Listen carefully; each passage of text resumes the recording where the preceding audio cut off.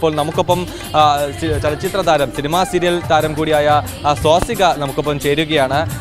ആദ്യമായിട്ടാണ് പൊങ്കാല അർപ്പിക്കുന്നതെന്നാണ് ഞാൻ മനസ്സിലാക്കുന്നത്. അതെ അതെ. ആദ്യത്തെ ഇത്രയും വർഷമായിട്ടും ടി വിയിൽ കണ്ട് അല്ലെങ്കിൽ ആളുകൾ പറഞ്ഞു കേട്ട ശീലമുള്ളൂ. ഇന്ന് ആദ്യമായിട്ടാണ് ആദ്യത്തെ പൊങ്കാല സമർപ്പിക്കുന്നത്.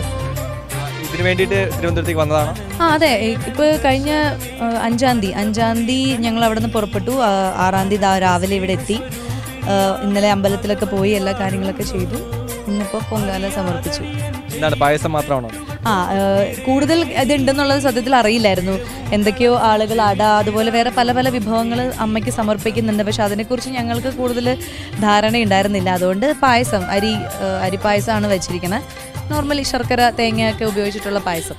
ആദ്യത്തെ ഒരു പൊങ്കാല ആ ഒരു പാഠം തന്നെയായി.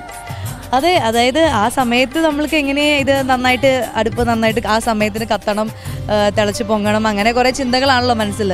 അപ്പോൾ അതൊക്കെ ഭംഗിയായിട്ട് നടന്നു. അങ്ങനെ കുഴപ്പങ്ങളൊന്നും ഉണ്ടായിരുന്നില്ല. പിന്നെ ചുറ്റും എല്ലാവരും ഒരേ സ്വരത്തിൽ ദേവി വിളിക്കുമ്പോൾ മൊത്തത്തിൽ അന്തരീക്ഷം എല്ലാം നമുക്ക് പോസിറ്റീവായിട്ട് വരുന്നു എന്നാണ്. അതുകൊണ്ട് തന്നെ ഞങ്ങൾ പൊങ്കാല ഇടുന്ന സമയമുണ്ടല്ലോ. അപ്പോൾ വെയിലൊന്നും അധികം ഉണ്ടായിരുന്നില്ല. അതിന് ശേഷം എല്ലാം കഴിഞ്ഞപ്പോഴാണ് ഇപ്പോഴാണ് വെയിലൊക്കെ നന്നായിട്ട് വരാൻ തുടങ്ങിയത്. അതുവരെ എല്ലാവർക്കും സമാധാനമായിട്ടുള്ളൊരു അന്തരീക്ഷം തന്നെയായിരുന്നു. വലിയ സന്തോഷം. ആ സന്തോഷം.